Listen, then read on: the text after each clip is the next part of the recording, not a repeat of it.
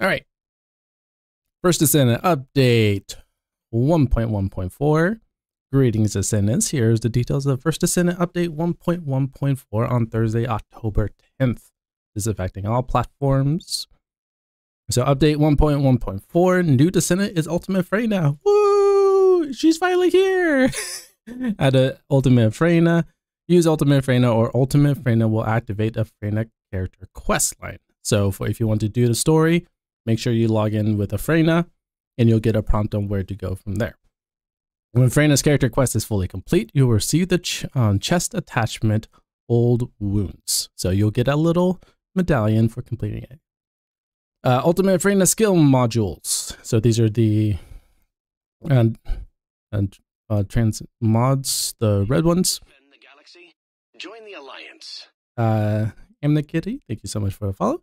Uh, Toxic Mixture, Freyna's passive skill Contagion links its change to Toxic Mixture. When equipped, the skill module will trigger Necrosis instead of Room Zero Trauma.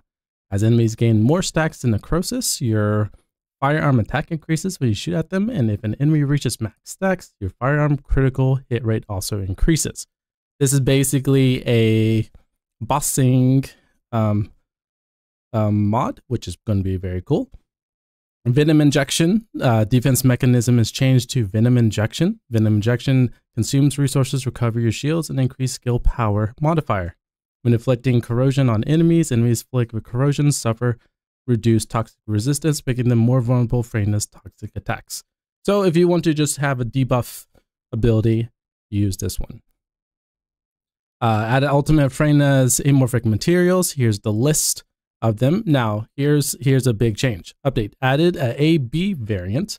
So we we have um before this update we had like a 1.1 dash A.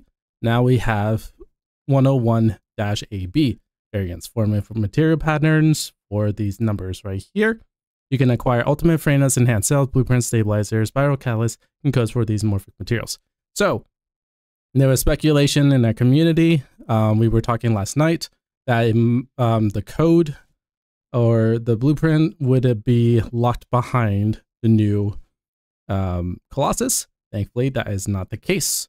And it looks like they've come back to morphic um, versions. So the Hailey option of grinding um, invasions, as I was speculating, and I'm glad I was correct, that they got received from the community that that was not the best idea for grinding descendants. So they moved back to morphic material, just add a different variation to that. So you'll get more um, materials in your inventory. So that's going to be fun. Uh, new modules for Hailey skills. Uh, super cooled Kuiper rounds.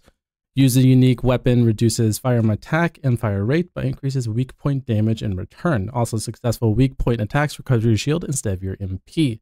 Increases weak point damage increase on firing unique weapons, but increase against successful weak point attacks. So uh, Cobra was talking about yesterday that he was talking with some people um, on weak point damage for Hailey. So this super cooled rounds would actually help with that build. Very cool. Uh, cryogenic cluster shots. The cryo effects uh, change to cryogenic. Using fireman attacks to an enemy flex for the cryogenic deals additional AoE damage to nearby enemies, making this a useful skill module for clearing out common monsters. So my turret build might be very helpful for this mobbing build right here. Very cool. Uh, you putting a team together to farm for Ultimate Freyna? Yeah, possibly. Uh, after this, we'll have to see. Uh, update new modules. Added new ultimate and rare modules. There we go. To existing module groups, strike crit hit damage, luck is critical hit damage, and firearm critical hit damage. We've added modules that can enhance skill power, firearm attack to diversify the selection of weapons and descendants with low crit rates and critical hit damage. Ooh, Freyna is one of those descendants that has low crit rates. So these mods might be very helpful. Very cool. RK Tech, Hyper Focus. I'm not going to go through this um, list here. Um, so just heads up, but, but there's a lot of looks like different modules here to help with uh, some crit buffing, which is pretty cool.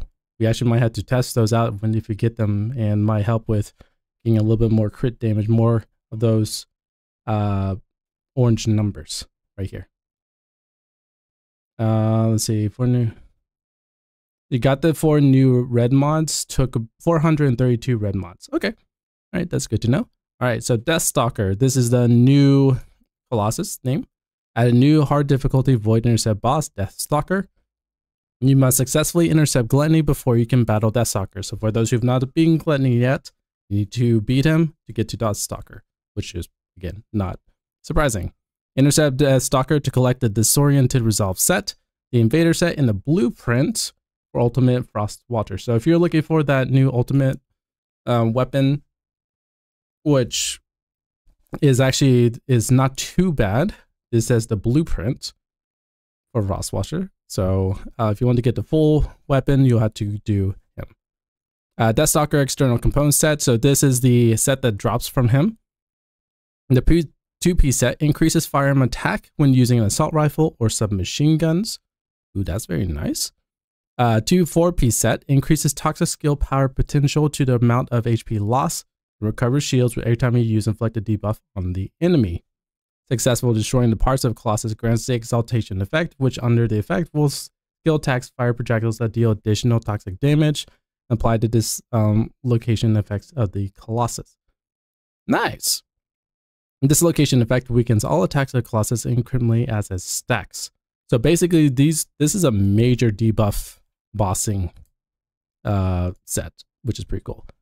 Uh, invader set, two piece set, increase max shields, and a four piece set, defeating an enemy increases skill duration based on the number of stacks. Also increases tech skill power modifier and dimension skill power modifier. Interesting. Okay. Now here's a look of the new Frostwatcher ultimate weapon here. We've seen it in the trailer. We've talked about a few times and all that. Uh, it lands a critical hit on an enemy from being a certain distance, grants a cold surveillance effect. Hitting weak points of enemies beyond a certain distance grants the Sub-Zero sensation effect. Cold surveillance reduces the enemy's chill resistance incrementally as it stacks. Sub-Zero sensation increases your chill skill power. Defeating an enemy grants the chill synchronization effect, while under the effect, the movement speed reduction due to Hailey's Coldfish is ignored. Okay, so this will be very helpful because when Hailey uses her third ability, her movement speed is slowed, but that is pretty cool that this one does not affect it. But yeah, uh, the devs mentioned that this would be very helpful with Viessa and Hailey, but knowing the community, we'll probably find some way of not just using this weapon on those two descendants. we'll probably find some busted move, one descendant that's like, hey, sure it's Frost, but we'll find a way to make it like super OP, you know. Now, this one I am looking forward to. Highest difficulty operation is now at 400%. Uh, before this update, we were at 250%. So we got a major upgrade. The new highest difficulty dungeon has been added to 13 infiltration operations at Magister Labs. Uh, so it looks like all of them have been um, added. I don't see any ones that are currently missing. Uh, White-night only has one of these. Okay, so there are two that are missing. Okay. So most of the infiltrations have been as these. A hard difficulty underscore multiply is available for dungeons where the invasions have occurred. After clearing the invasion, you can still use the 400% score multiplier until the next invasion refresh. Uh, the type of rewards for highest difficulty infiltration operations are essentially the same. Defeating commanders named monsters give additional standard ETA vouchers. So they did mention in the dev note that we're going if you do the 400 ones, you're going to get tokens for this new um, vendor ETA-0, which they'll cover in a little bit. But it's only in the 400 one. So you might have to get a build for survival for this one. At completion rewards, you will receive high precision exchange components. Cool. So here is ETA-0. Now, be mindful. Uh, this is available every Friday, Monday through Monday in Albion. It is currently Thursday at the time of this video, and so that is tomorrow. I am planning on doing a weekly Friday video. It'll probably be in short form content that I'll be posting on my um, platforms and just pretty much go through. Basically, uh, for those who have been here a while, is basically like, like a Xur in Destiny or Baro Ki'Teer in uh, Warframe. So this um, he's open up basically on daily resets and all that, which is pretty cool. So what can you do with ETA-0? You can sell blueprints. You can sell blueprints you have available from Mastery Rank 10. And as we saw from my free-to-play account, you basically get to 11 just doing the story, which is pretty cool. So basically this opens up to anyone who's done the story arc, which is pretty cool. Exchange infiltration operation rewards. You can purchase various items from standard ETA vouchers. Standard ETA vouchers can be attained by completing infiltration operations with the 400%, which I had mentioned before, kill score multiplier. Exchange supplies, you can purchase various items with the premium ETA vouchers. Premium ETA vouchers can be obtained by selling blueprints. So for those who have duplicate um, components, like for Blair, if you've been playing with a friend and you got like five of them, you can turn them these into ETA, the vouchers, and then you can buy those, use those vouchers to buy blueprints that you need. You can carry up to 600 vouchers and premium ETA vouchers. Pretty cool. Standard ETA vouchers and premium are found in your inventory and do not take up consumable slots. Look at that. Yes, that is very nice. Does not take up consumable slots. So you can have up to 600, which is nice.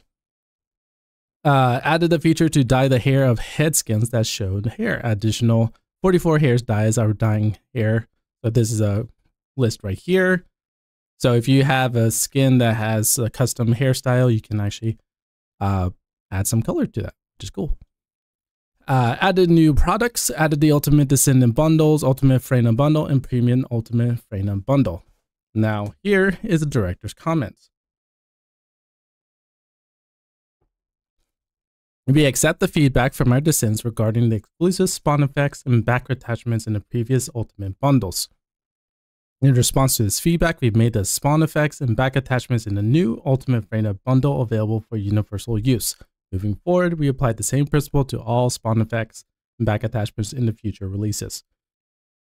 And so what they're saying is that in, I think it was in 1.1.3 or 2, I'm not sure, but uh, recently they made it to where the Ultimate Descendant bundles that you got for Lepic, Ajax, was exclusive to those descendants only because people were able to use the Gley spawning and back piece for uh, Ajax and vice versa. And they wanted to have show it unique, and so they sort of restricted it.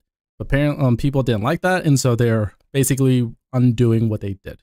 Additionally, we're working on improving the exclusive spawn effects and back attachments from previous bundles to make them universally usable. Once this improvement is complete, all previous purchase spawn effects and back attachments will be universally available. So right now, it's still exclusive, but probably in the maybe next week or the following week, they'll make a update that any ultimate skins that you have will be cross compatible with different descendants.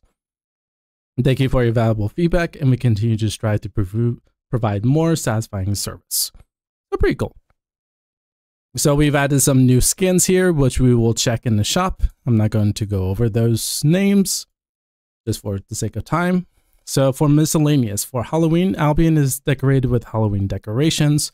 For the update on Thursday, which is today, until Wednesday the 30th, you can receive Halloween themed emotes each week by logging to the game.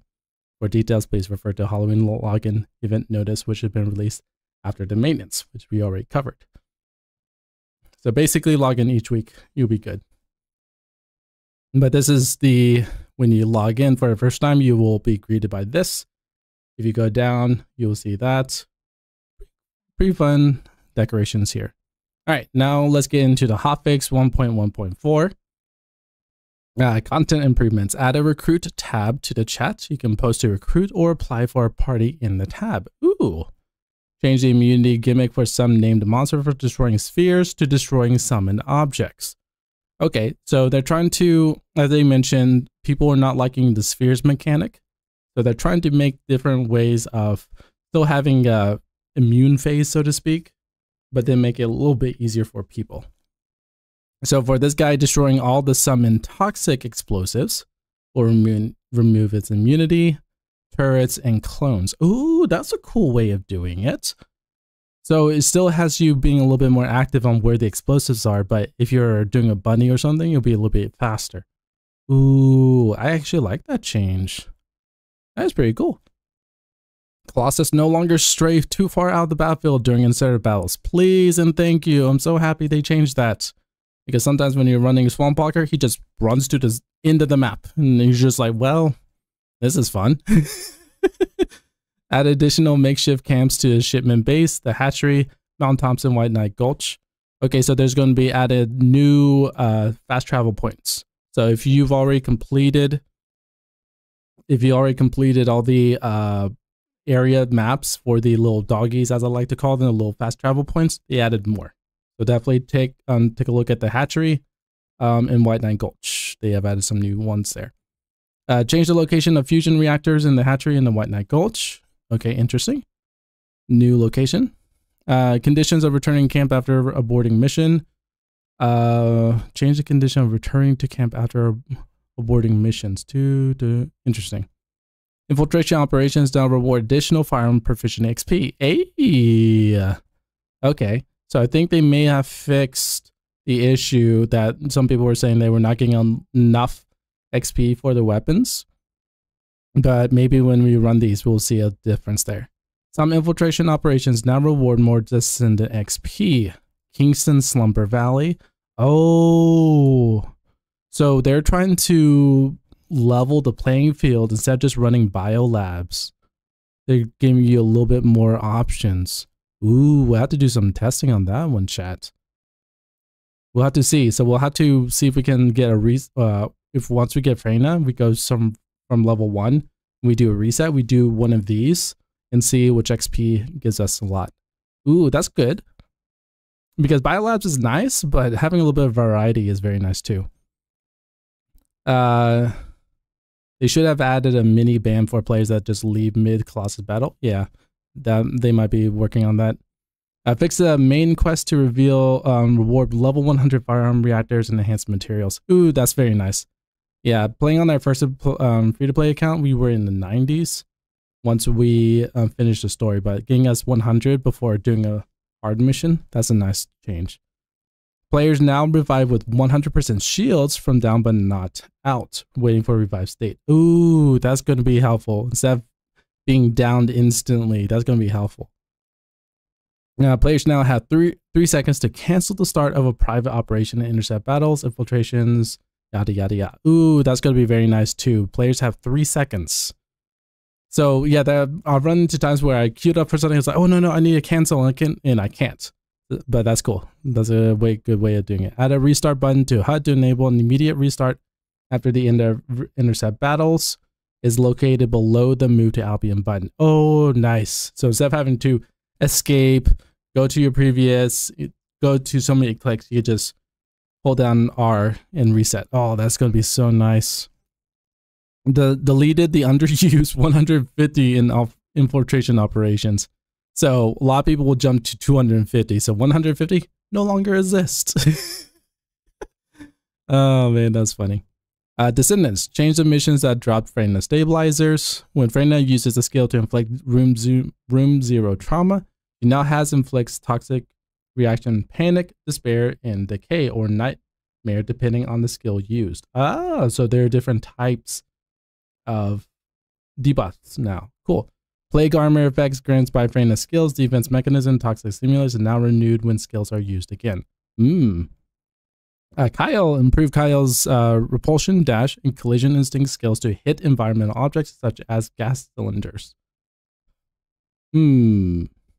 Interesting. So you want to hit and huh? Okay. I'm not sure if that was an improvement or hmm. I wonder if that was a mistypo or something. Esiemo can now use a time bomb skill when shooting a firearm or using other skills. That's very helpful. Nice. Uh, UI UX changes. The location of request NPCs is now displayed during some quests. Fix the maximum target score for infiltration operations, always displayed in the right UI. Okay, that will be helpful. Invasion Dungeons info now displays the text minimum required in the number rewards in the main reward. Okay. Uh, research lists, enhanced levels, displayed owner indicators on low level research as well as descendant research, whatever the research results exits and how much. Uh, enhanced level information. Oh, wait a second. Does that mean it shows you how many uh, enhancement levels when you're crafting? We'll have to check that out, chat. That looks pretty cool. Uh, miscellaneous. Add reactors to hard difficulty fields, allowing you to obtain when needed when obtaining reactors, not as a rotation reward. In hard difficulty missions, outposts, or fusion, you will require reactors with specific attributes, in arcade based on each battlefield. So, okay, so there's going to be hard sets instead of having a rotation. Looks like, um, not as a rotation ward. So it's guaranteed, no matter what week it is, you're going to get non-attribute X Tech. So um, either some kind of tech one, Kingston, Echo Swamp, Grand Square. So these areas here, you have to take a look at this um, chart here, but wherever you go there, you're going to be a, have a guaranteed one. Okay, that's nice because having to wait for a certain week rotation for a particular one, oh, that's going to be so nice. So Toxic Tech so for you Freyna um, grinders out there, you need to go to Vespers or Fortress, the Timberfall in the Frozen Valley. Okay. So Timberfall in Frozen Valley will be a guaranteed drop of a toxin in a tech reactor. That's pretty cool.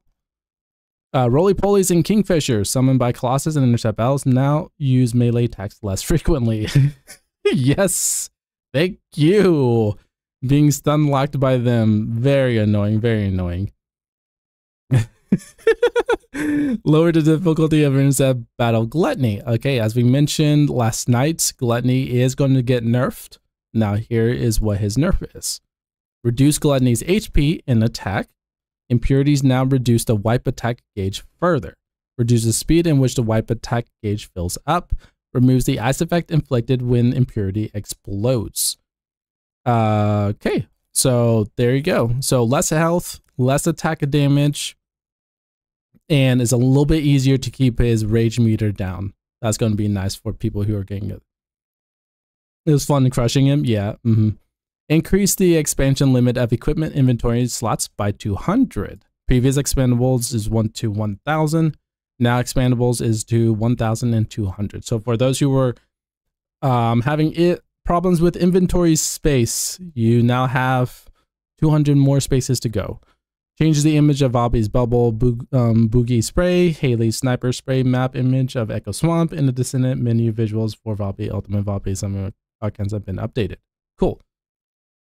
Uh, bug fixes. Uh, issues where characters would get stuck or could not move impor um, improperly in some world regions of Kingston, Sterile Lands, Hagios, and Fortress.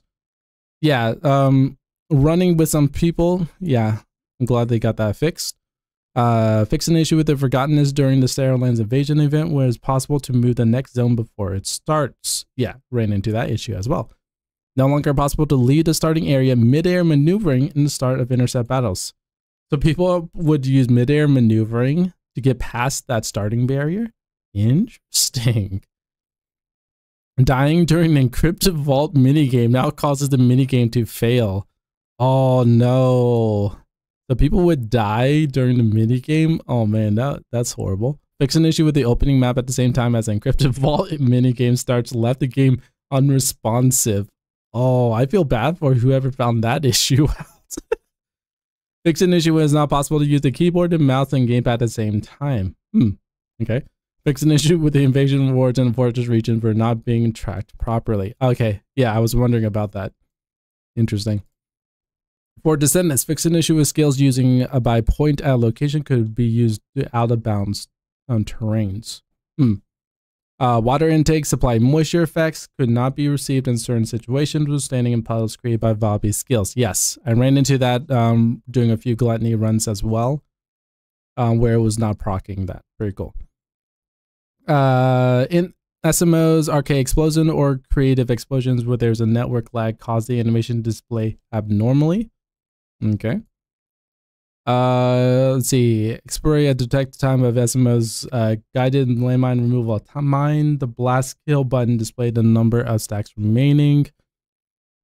Uh, Hailey's Zenith skill, which is her sniper, amidst a phase that um stating that the launcher was excluded. Hailey's storm snare did not deal damage when her character was not exposed to um, exposed due to terrain. Interesting. Uh, Viessa's frost shards could not hit objects such as glass. Uh, hmm, okay. Luna's skill sound could not play when opening the selected center screen when Luna is equipped with her weapon. Oh, okay, so for people are trying to hot swap things, it was not working. Okay. Luna is equipped with her default skill module, noise surge. The animation of the skill button at the bottom now appears matching the notes. Hmm, that's a cool change. Uh, animation effects of Freyna was displayed incorrectly. Plague armor effects, defense mechanism could skills could also be granted. Oh, so stacking. Interesting. With this change, only the plague armor effect grants last will remain in effect of the duration. Contagion, toxic simulation, necrosynthesis. Okay. So equipment and modules. Fix an issue with the module disseminator and le lethal infection did not activate due to certain debuffs. Hmm, okay. Additional damage increase per enhanced level. The last stand module could not apply correctly. Uh, strike module will not apply to targets with shields. Okay, so apparently there, this one here, the module was not procking correctly. Good, they got that fixed. Uh, UI and UX changes fix an issue with the focusing effect did not display on the map when you're clicking go to the acquisition info. Uh, let's see, web browser window. I'm going to see if I can just skim through these. Cache store, there was no product available. Abnormal messages. Uh, titles displaying abnormally. So there's a lot of bug fixes, which is very good. Um, unstable energy cannot. Oh, okay. This one is right here. Uh, so fix an issue with the unstable energy purple spheres. So when for those who have not done Gluttony yet, when he goes into rage, um, there's these purple spheres that you have to detonate on top of Gluttony to be able to get him out of rage. So these, this is what these purple spheres are talking about. Uh, did not cause chain explosions with each other in the intercept battle. So um, sometimes if you get them close together, you could go boom, boom, boom, and instantly knock them out. But apparently, some situations they would not do that. Okay. Uh, HP orb increased max HP by one. All right. Uh, oh, fix an issue with awarding mastery rank XP. Wait, hang on. Fix an issue with mastery rank XP being reward based on the previous level with a weapon proficiency level increased. When progressing from proficiency level 1 to 2, mastery rank XP corresponding to level 1, not 2, have been rewarded. Oh, interesting. I wonder if that's why people were having some issues with um, firearm leveling. Fix an issue where you cannot gain mastery XP for levels when Bunny was attained through quests. Unawarded mastery rank XP can be given after the update.